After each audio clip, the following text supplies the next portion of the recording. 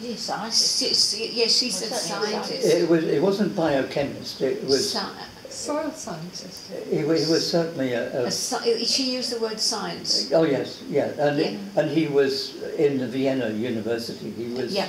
you know, well approved, well well educated. He got all the right degrees. Mm. He did all the right things. Yeah. But um, and he designed um, a, a method for central heating using the uh, grape skins, great remains. In fact, we've got his papers on uh, how you um, process grape Mm. remains in order to create a central heating bank for your house. However, um, Gernot had gone um, into the area of developing um, rock dust and grape skins, putting them two together uh, to develop a, and they called it a homeopathic treatment of the forests. Um, perhaps I should say before this that what brought them together was that Maria had goats, and the goats made a big smell. Uh, I obviously had billy goats there as Yes, well. yes, they do. Uh, and uh, she wanted to, um, you know, stop the smell, to stop putting her neighbours off and, and so on. Mhm. So uh, Gernot had helped um, create uh, an additive for the manures so that it was um, no longer smelly. smelly. Mm. Yeah, okay, so it was done with grape skins and, and rock dust and so on. What an interesting meeting. Yeah, that's right, brought them together. Um, and, um, but Maria, um, One thing led to another. yes, that's right. She was interested in organic gardening, um, and he was interested in biochemistry, and, and they came together on this. but between them, they developed this method of, of using the pendulum to determine how effective their work was as they went along. And they'd already, by the time we met Maria, um, developed quite a, a following in Austria and, and in Europe generally because they travelled around. Maria had been to England and given a lecture to the Dowsing Society in, in England. Uh, yeah, um, we have a translation of that. No, translation, I mean, she gave it in English. Um, so they were already using um, the, the pendulum and the dowsing methods to determine how effective their work was. So when they turned it to the matter of the dying forest, which Maria also had in her garden with these dying pine trees, um, they found that the problem was really originating in the um, intense electro smog, as they called it, um, which was developing in Europe at that time. The electro smog was not just radar, uh, but it was what they called handies. They, they call these Yeah, these Mobile uh, mobile phones. phones. The The, the oh, yes, I love it. Yes.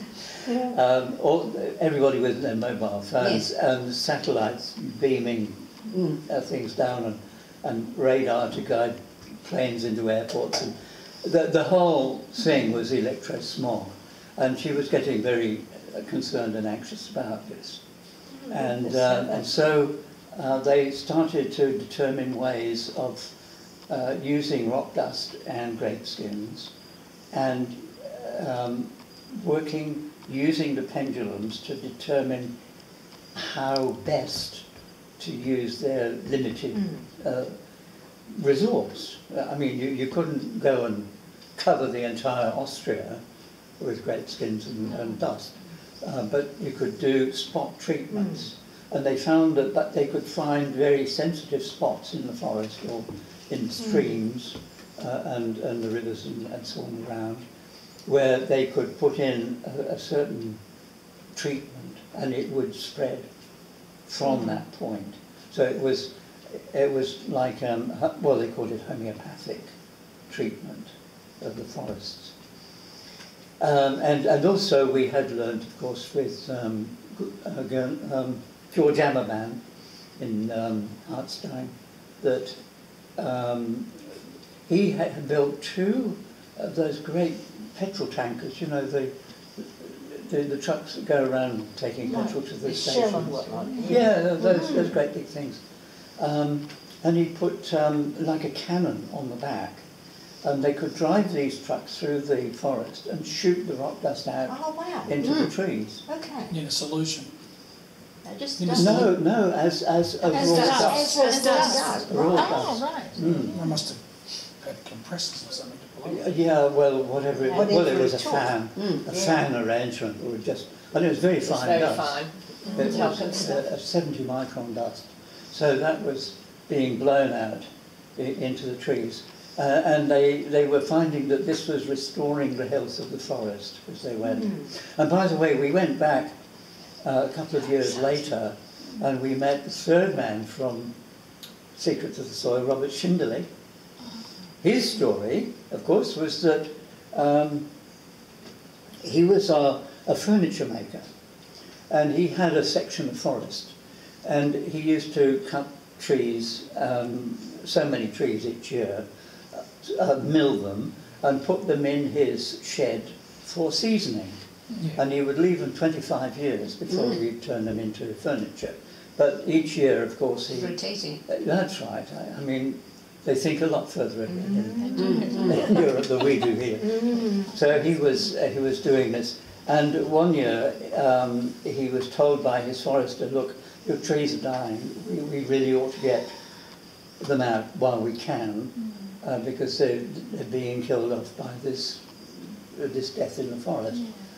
So he said, "Well, all right, you better build a road in there so we can get in uh, and get them out."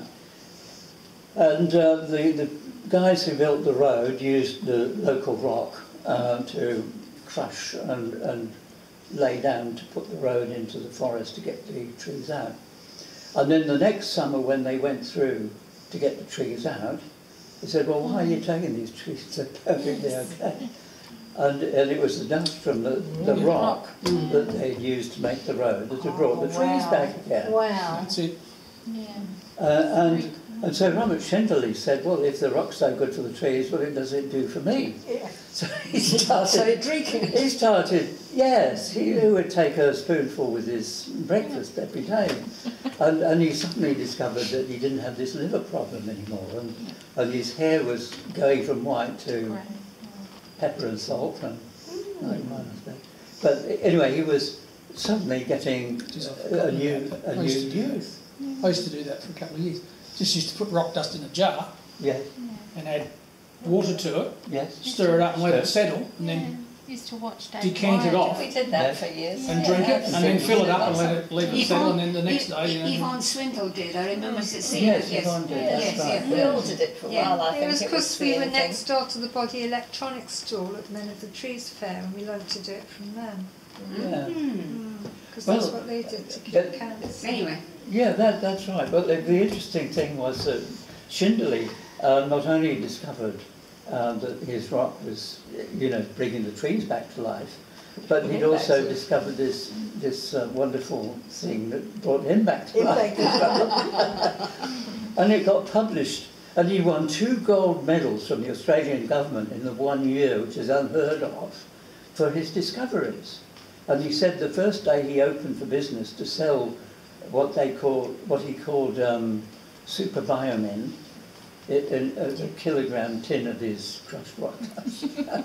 he said there was a, a queue of traffic down ah. the road at one and a half kilometres long. They're selling us ground rock dust. Yes, selling 70 ground micron. rock dust. Really? What state was that in? What state was that in? You see, the Austrian people are very sensitive to minerals. I mean, that's where all, all the spas in, in Austria, they have these It's a mud baths. Paleolithic history, really.